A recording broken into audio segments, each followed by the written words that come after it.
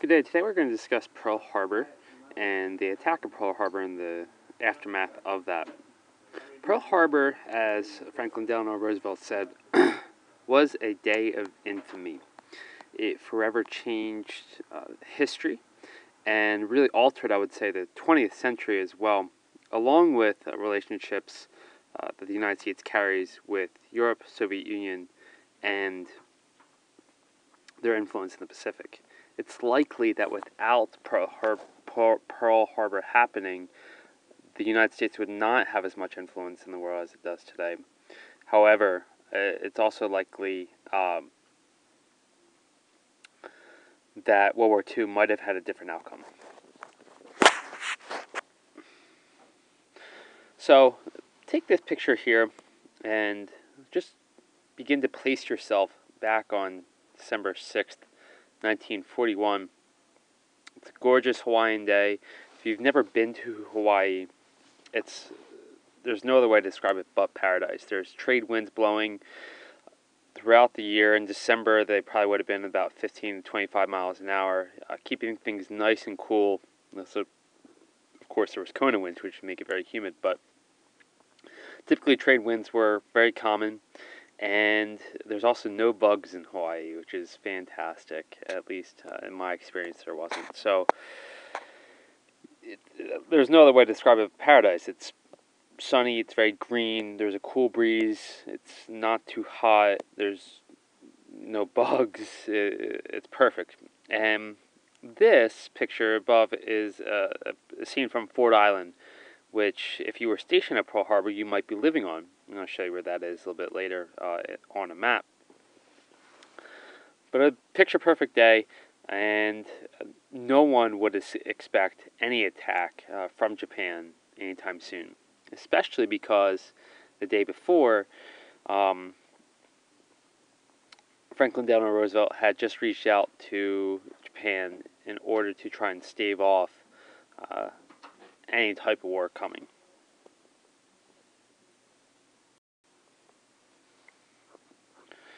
So, just to review what led up to Pearl Harbor, beginning in 1938, uh, the United States was supplying, well, well before that, the United States was supplying almost 80% of Japanese uh, fuel. And this was essentially uh, a necessary commodity for the Japanese war effort once Japan had invaded East China and continued aggression in Manchuria, and then invaded Indochina, um, there was a full embargo of American goods. The ja- so the, the Japanese had no one uh, to gain fuel with.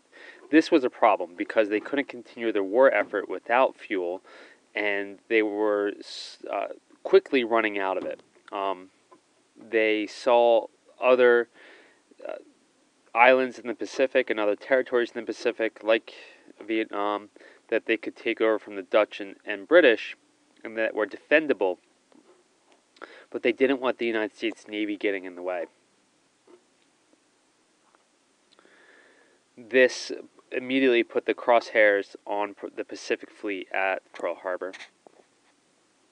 At the same time, they had also brokered a, a pact with the Axis powers that said that if one of them uh, was declared war, war, they would also declare war on another country, similar to the uh, pacts and alliances made in World War One. And so now they had the full backing of Nazi Germany and uh, fascist Italy, along with, at this time at least, uh, the backing of the Soviet Union. In addition, they had seen in 1940 and 1941 how effective the German blitzkrieg was. They saw that if this type of uh, warfare strategy could be used, where one, where um, war is executed in a quick manner and a surprise attacks from many different facets, that'd be very hard for enemies to retaliate against them and make it easy for them to wipe out any defenses and thus move in and uh, establish rule where necessary. As I said, the United States and Japan had tried diplomacy.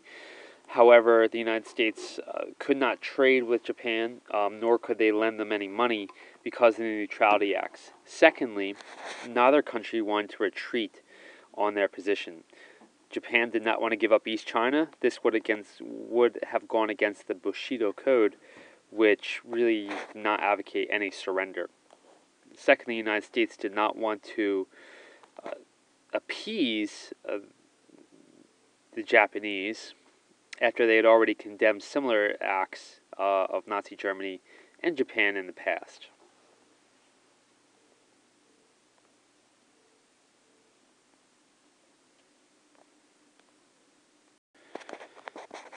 So this put the target on the Pacific Fleet in Pearl Harbor. Just a little background on Pearl Harbor.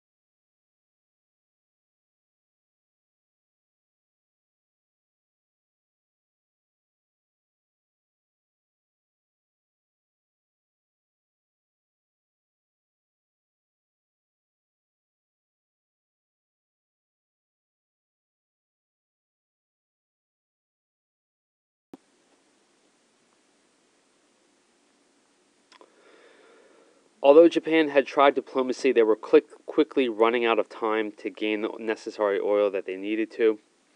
And on November 26th, although they had been planning for an attack on uh, Hawaii since early um, or late summer of 1941, uh, November 26th, ships sailed from Japan uh, to outside of Pearl Harbor. They sailed uh, from a northerly direction. Normally, the shipping lanes uh, they didn't ship, they didn't sail in common shipping lanes to avoid detection. But six aircraft carriers, along with 33 warships, along with uh, midget submarines, which were designed to sneak into Pearl Harbor and and blow up whatever they could, um, sailed from Japan and landed about 230 miles north of Hawaii.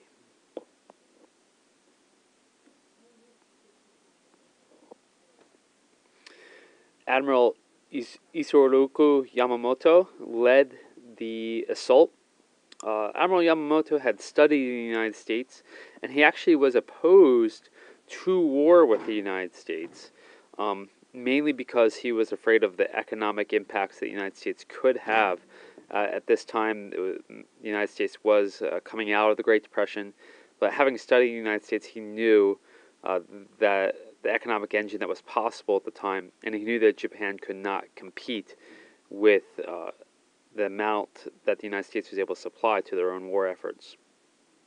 Nonetheless, he saw their only chance at success of uh, gaining economic independence from the United States as an attack on Pearl Harbor. Um, so he wanted to he designed this preemptive attack. A preemptive is anything that you do first without necessarily uh, being attacked yourself, you do it before you're attacked. And so you plan this preemptive attack in order to take out the American Pacific Fleet, which would allow them to take over certain islands, uh, like the Philippines, for example, right there, um, and other interests along with uh, those in East China. Meanwhile, in Hawaii, as I said, it was December 7th was a, a peaceful day. Uh, although the attack started very, very early, I'll, I'll talk about that in a second. Uh, December 6th was a gorgeous Hawaiian day, and no one was expecting an attack. At Pearl Harbor itself, you could see on this map uh, where Pearl Harbor is in Oahu, and I'll bring this map up to talk about the attack. This map is where uh, the inside of Pearl Harbor looked like. So in the center, you can see that on the other map here. Um, you can see that little island right there is Ford Island, and on Ford Island there were uh, numerous airplanes stationed from uh, wingtip to wingtip, fully loaded, because uh, they were you know, the minds of the U.S. military needed for the defense of other bases, uh, namely at Ford um, on at Wheeler Air Force Base, Hickam Air Force Base, uh, Kaneohe Air Force Base, and Ewa B and Ewa Air Station as well. So planes were loaded fully um, with their munitions and fueled up wingtip to wingtip on Ford Island. You could see uh, to the right, this is what was known as Battleship Row, as ships were tied up uh, right next to each other.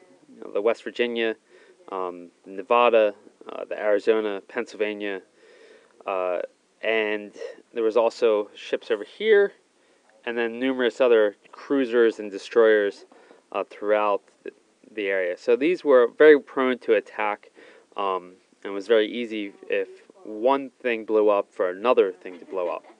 So give you again an idea of what what Pearl Harbor would have looked like. Um, and today, this is the view uh, if you were sailing from the eastern shore of Pearl Harbor. And if you were sailing towards Ford Island, uh, you could see how close the battleships would have been lined up next to each other. That battleship that you see there is the USS Missouri. is actually a floating museum now, but you can see the battleships would have been tied right next to each other. And just to give you another perspective, you could see Wheeler Air Force Base was slightly northwest of Pearl Harbor. Kaneohe Air, Air Base was on the east side of Oahu. Um, and is now a Marine base, actually. Uh, Hickam Air Force Base is was just southwest or southeast of Pearl Harbor. Uh, it is now where modern day um, Honolulu Airport is. And then there was also Schofield Barracks, which were close to Wheeler Air Force Base. All these uh, uh, bases had airplanes lined up in the similar fashion that was on Ford Island.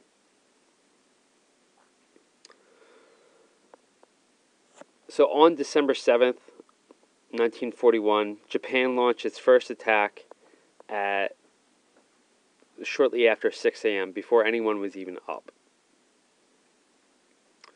at right before 7 a.m., a little hour over, um, a little under an hour after the attack uh, started, radar at Opana Point uh, began seeing blips of airplanes on their radar. Uh, a Point is located on Kauai, which is the next island northwest of Oahu. Uh, it's about 60 some miles away from Oahu, so there would have been ample time uh, had advance warning been given to scramble or to send airplanes up to meet the uh, coming attack force. However, the lieutenant at Opana Point uh, thought one of two things. One, there was a, supposed to be a scheduled arrival of B 17 bombers coming from the mainland and he also thought it could have been a training exercise at the time as well. Irregardless, he failed to recognize uh, the massive amount of Japanese dive bombers, torpedo bo- torpedo planes, and fighters heading toward towards Oahu. At 6:40 a.m., the USS Ward also began to sp- um, also spotted some of those miniature subs or those midget subs that I had mentioned uh, heading towards Pearl Harbor and launched depth charges and sunk those those submarines.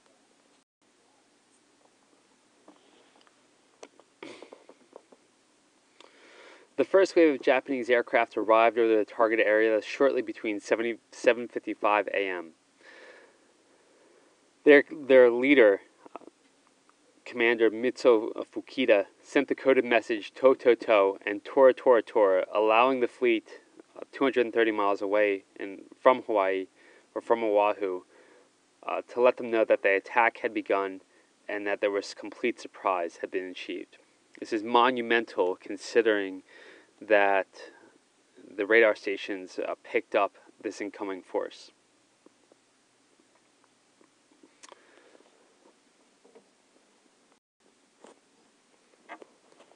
At the same time, Japanese forces also strafed, which means that they, uh, this would be Japanese planes, would mean that they strafed their guns or shot their guns down at the planes located on Wheeler Air Force Base and Schofield Barracks.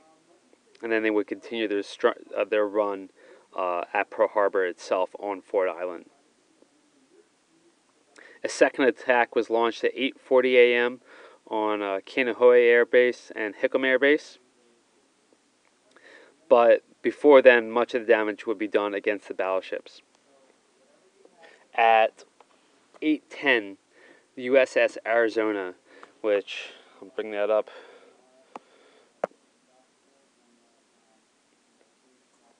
is located here was struck when a bomb uh, pierced its hull and penetrated into the the munitions hold along with the gunpowder. This uh, once this armor piercing bomb uh, slammed through her deck, uh, it ignited the forward ammunition magazine and killed over a thousand people uh, almost immediately. The USS Oklahoma was also struck by several torpedoes and it rolled over on its side, uh, trapping 400 people inside its, its hull, inside ship, uh, and entombing them in a watery grave. Uh, you have to remember that, like I said, Pearl Harbor was a shallow harbor, so when these ships sunk, uh, they didn't sink all the way, and this at some point gave uh, some of the men on board hope. Um, especially in the Oklahoma, but as water rose, uh, their ship became a watery tomb for them.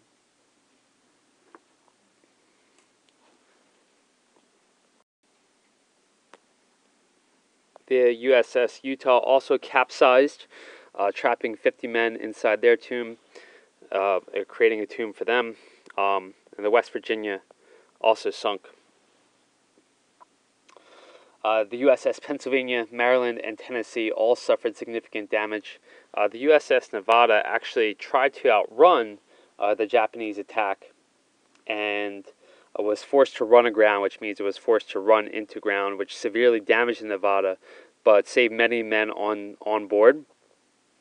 You might be asking yourself, well, why were men on the ships? Well, uh, the ships required cleaning. Uh, many men were living on these ships. You have to remember these were large battleships that could hold over a thousand men.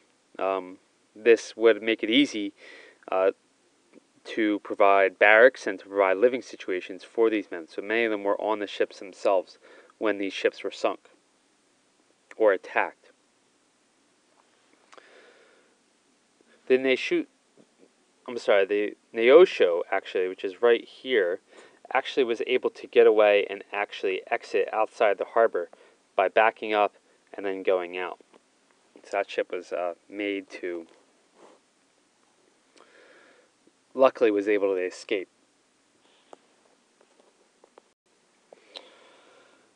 After about five minutes, American anti aircraft fire did begin to register hits on Japanese planes, uh, but many of the shells that were improperly fused uh, fell on Honolulu, where residents actually assumed them to be Japanese bombs.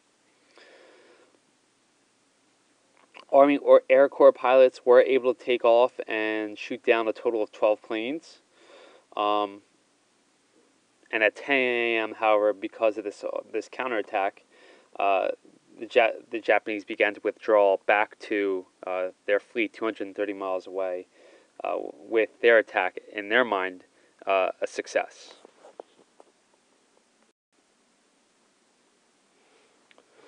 This is a picture of the USS Arizona um, right when the armor piercing bomb pierced its forward ammunitions compartment and blew the Arizona up uh, to bits right away. Just to give you some first hand accounts, this is an account from William Le- Lefebvre, who was a uh, first class seaman and he was aboard the West Virginia. And he said when he got topside after he had been torpedo attacked himself, uh, he was asked, Well, what did you see? And he said, An awful mess. That's one way to put it. The only way they could, that's the only way I could put it. And the sad thing to see, to see your whole battle line just, just sitting there, all full of smoke. Uh, and oh, everybody firing that had a gun, possibly was firing. And it was very, very scary. And next thing you knew, I was very, very shocked like everybody else must have been. And the next thing I knew, I just felt my feet being cold. And evidently, the blast from the Arizona must have just swept me right off the ship into the bay. So the, the explosion from the Arizona was so violent that it knocked Mr. Lefebvre off, uh, off the ship into Pearl Harbor itself. And then he was asked, Did you see the Arizona go up? He says, Oh, yes, we saw her go up. As a matter of fact, we were trying to lock down our deck because the ship was listed we could hardly manage to walk, so we were sliding down. Don't ask me why we went towards the water. That's something that, well, I mean, normally you'd think you'd go towards the ship that was inboard so you'd have a little protection. But I mean, you know, when your things are going like that, you just do what your mind tells you, and we went all towards the water. So that means they actually tried to evacuate as much as possible.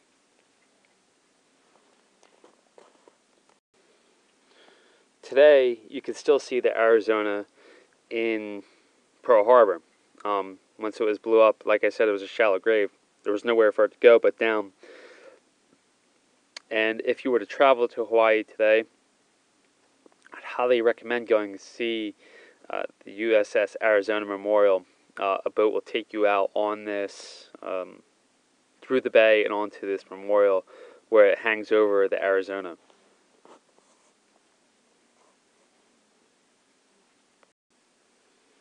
Uh, this is actually a close-up shot of uh, that I took personally of uh, the Arizona, and you can see here that there's still oil that leaks from the Arizona. These ships were fully fueled, ready to go. That's why some were able to get out of Pearl Harbor.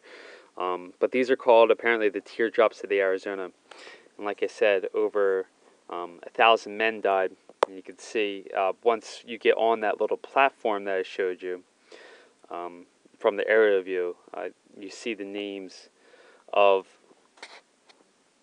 all the people that died on the Arizona right here. So at the back of it, they have a, a wall. Um, try and give you another view of it that with all the names of everyone who um, died just on the Arizona on the back. So you can see there was a little little part that you would walk through um, to see all these names.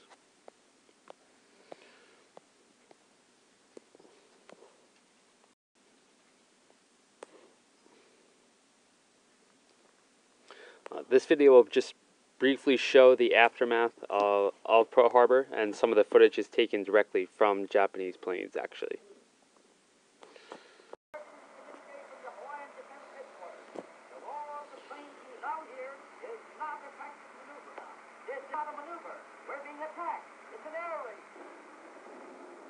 Japanese attack on Pearl Harbor on December the 7th, 1941, here dramatically shot by Japanese film crews for propaganda purposes, not only crippled America's Pacific fleet, it changed the course of history. Just the day before the raid, President Roosevelt had personally appealed to Emperor Hirohito not to drag their two countries into war. But it was too late. Japan had formed a secret pact with Germany to attack the Allied forces in Europe and in the Far East. America at that stage was neutral, but generally sympathetic to the Allied cause. This was an attempt to destroy American military power in the Pacific before she could strike back. You can see there in that picture just how close the planes were lined up next to each other on Ford Island. And you could also see them shooting up the hangars. I'll show you a picture of, of the impact of that in a minute.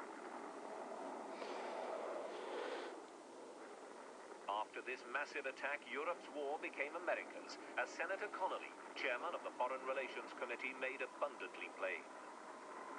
With unbelievable treachery and craftiness, Japan has attacked our territory and murdered American citizens. Japan began this war in treachery. We shall end it in victory.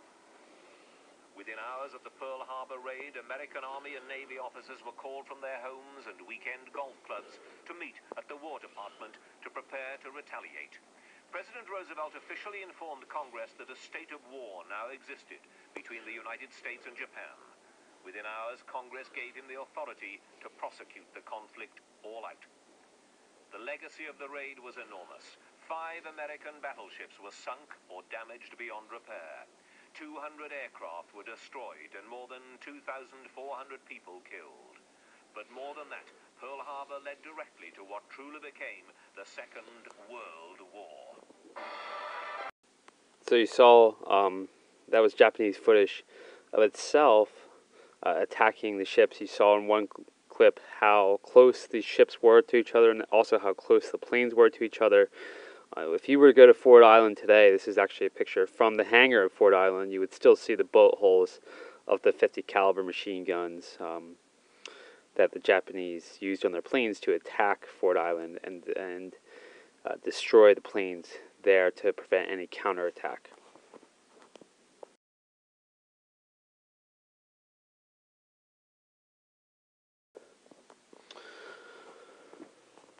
So, for the most part, uh, this was probably the most successful use of air power in the world at the time. Probably more effective than the Blitzkrieg against Poland and France. Um, this was also the first time that aircraft carriers were used with so much success.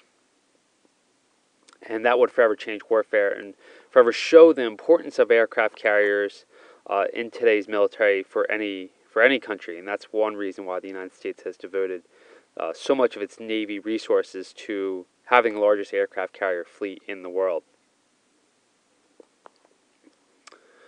The next day, uh, President Roosevelt would ask Congress for a, a formal declaration of war. Uh, the president, while he does command the military, he is he cannot declare war on another country formally. Uh, that's the will of the people. That's Congress's job. Um, at the time, the United States had a very, very small military, and it also meant that the United States was going to have to do whatever they could to rearm themselves during war. And by Franklin Delano Roosevelt declaring war first, uh, that would help. So let's listen to his speech before Congress. This is probably one of his most famous speeches ever. Uh, it's a speech known as the Day of Infamy, and he describes uh, the attack on Pearl Harbor.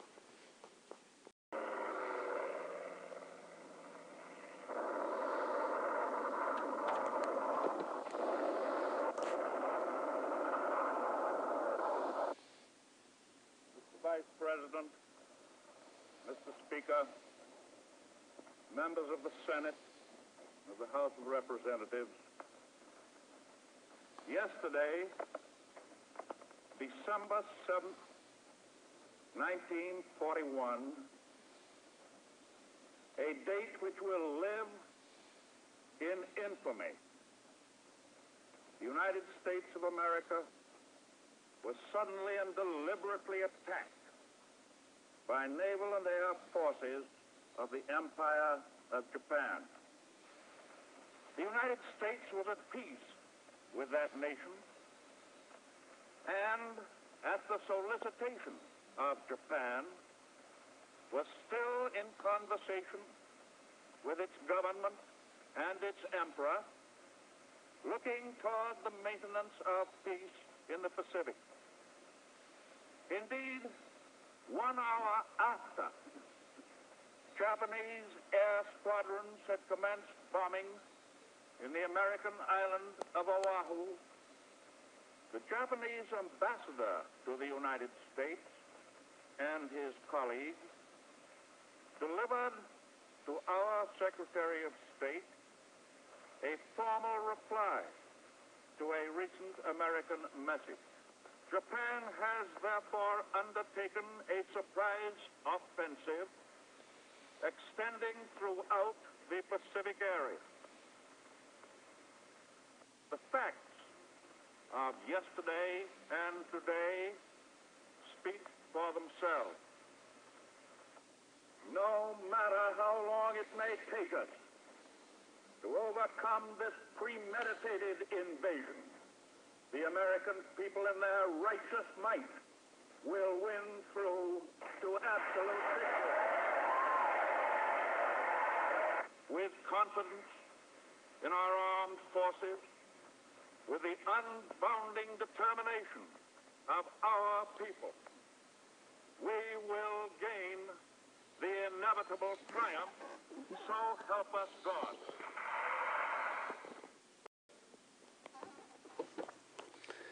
Luckily, uh, there were some positives out of Pearl Harbor as well, or some fortunate events. The aircraft carriers of the United States were not stationed in Pearl Harbor at the time. Uh, this would be incredibly important because much of the Pacific War would be a naval war, along with uh, select landings on islands. So the Navy was necessary, uh, along with that air support, uh, to support troops on the ground and to eventually fight back against Japan. Initially, while the attack was ultimately successful and that was surprise, uh, there was only five battleships out of nine that were completely destroyed, and many of the ships at the time were able to be restored within a few months. Um, so that allowed the United States to still have a Pacific fleet. Uh, so in some ways, the uh, attack on Pearl Harbor was not successful enough by the Japanese. However, there was fear, especially in Hawaii, that there was an invasion coming, and the government put on Hawaii martial law, which meant that no one was allowed to leave their house. The military was in charge. At the time, no one was allowed to be carrying more than $200 with them at any time. There was also a large amount of uh, Japanese uh, individuals or Hawaiians of Japanese descent in Hawaii, and they were sus- suspected for helping to sabotage uh, the Pacific Fleet. Um, so many of them were rounded up. However, there was just too many uh, to be kept uh, under surveillance. But eventually, uh, FDR would issue an executive order ordering uh, almost 120,000 Japanese Americans into concentration camps, and we'll talk a little bit more about that. But uh, Pearl Harbor led directly towards racism against uh, Japanese Americans, uh, many of whom were second, third, and fourth uh, generation Americans. Ultimately, however, Pearl Harbor, as uh, one of the videos said, led directly to the United States entrance into World War II, and without it, it's likely that um, the United States would not have entered into war, at least in the Pacific, and possibly maybe not into uh, Europe. Admiral Yamamoto, at the conclusion of his attack, uh, said that while he was happy he was successful, he really was just afraid that he would, that Japan had poked a sleeping giant and had woken a sleeping giant and now they were going to have to uh, face the reckoning of that sleeping giant, and that sleeping giant was the United States economy.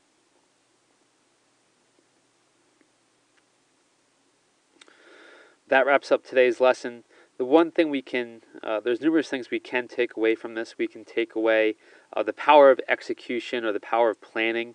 Um, there's a famous quote that says, uh, "Those who fail to plan, or those who um, fail to plan, plan to fail." Uh, the Japanese did an extensive amount of planning on this. Um, it goes to show what lessons we can learn about being vigilant and being on guard for whatever problems are coming in our lives, not to necessarily assume that things are going great all the time.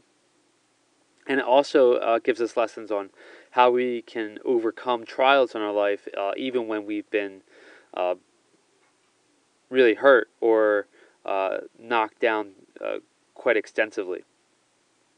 Please look at bottom, uh, the bottom for your homework assignment and let me know if you have any questions.